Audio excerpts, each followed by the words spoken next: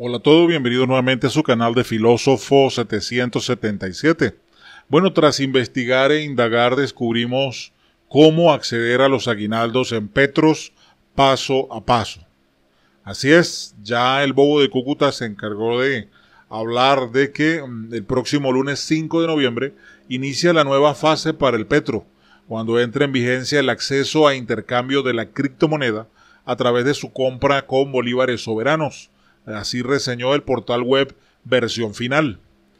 la moneda virtual venezolana, que no sirve para nada, bien chimba, la estafa eh, para los venezolanos, parece tomar atribuciones conforme se asuman a ella el pago de varios servicios ofrecidos por el Estado.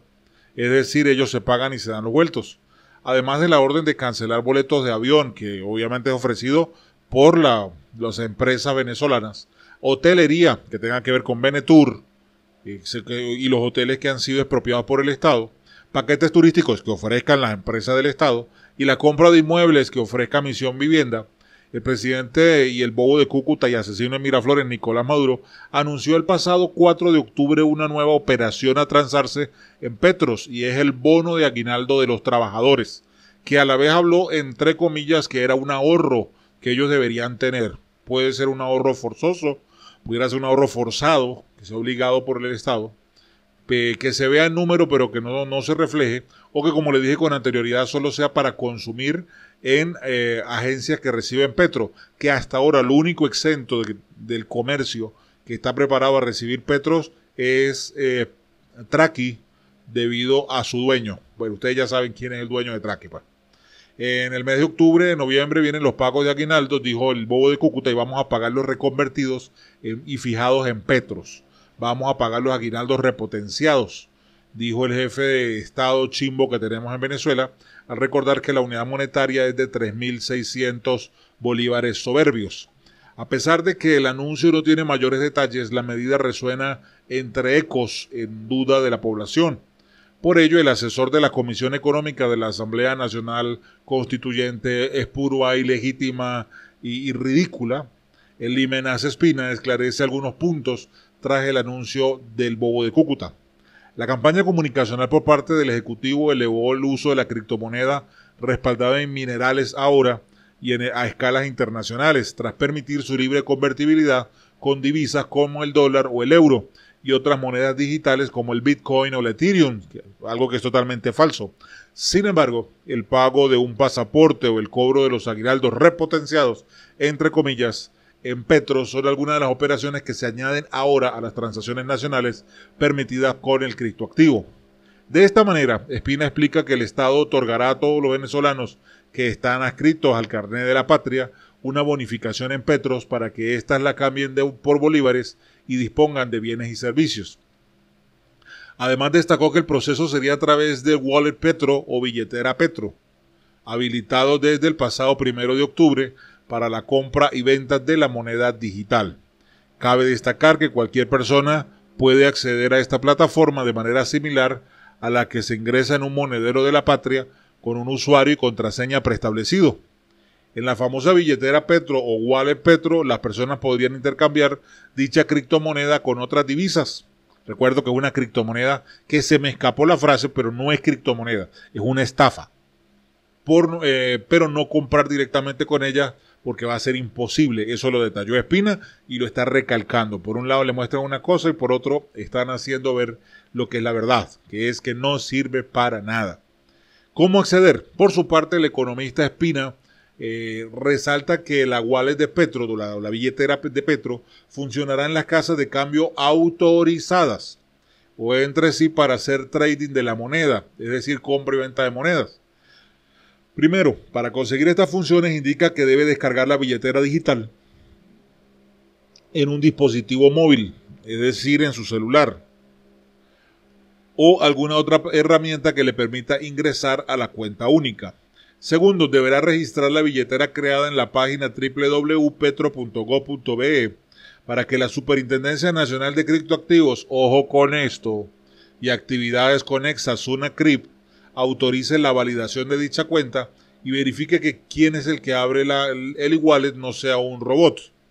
Ahora, hay unas letras pequeñas que dice acá y dice Se pueden meter los bolívares que se deseen, pero se empezarán a utilizar solo después del 5 de noviembre, que entra en vigencia la compra del petro en bolívares en el wallet de Petro.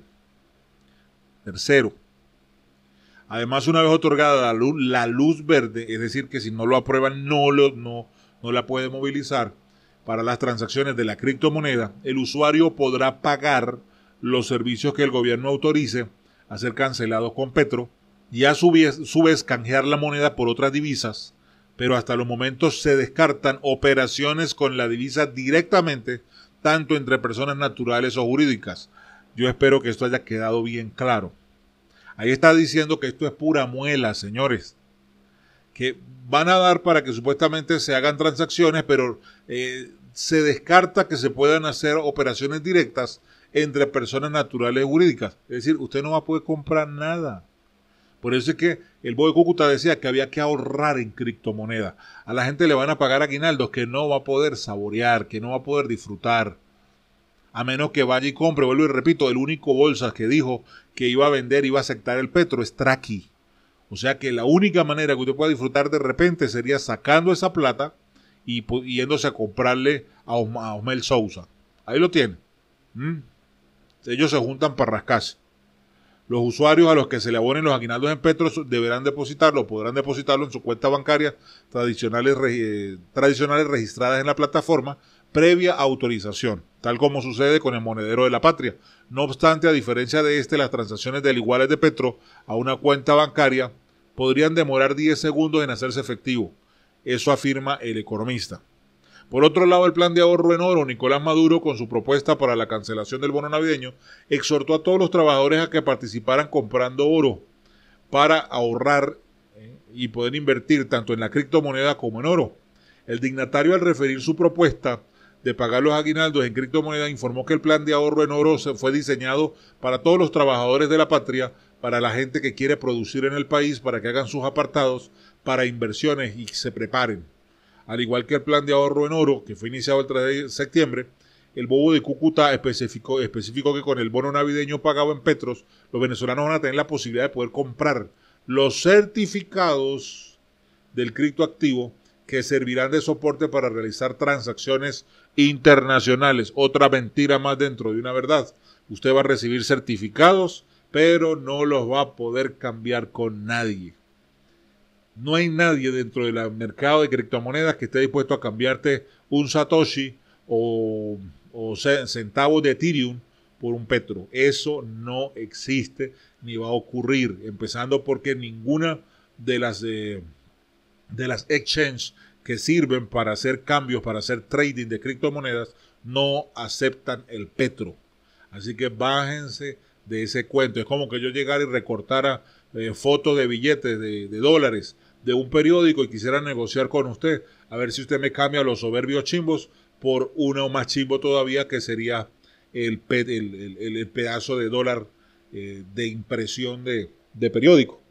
Bueno, así como los que manejan las criptomonedas no van a aceptar ni ahora ni nunca que esta moneda llamada Petro, que es una moneda chimba, que no existe, que no es minada, que no, cumple eh, lo que tiene que ver con los algoritmos y la tecnología blockchains, no cumple con los parámetros, no va a ser recibida en ninguna parte.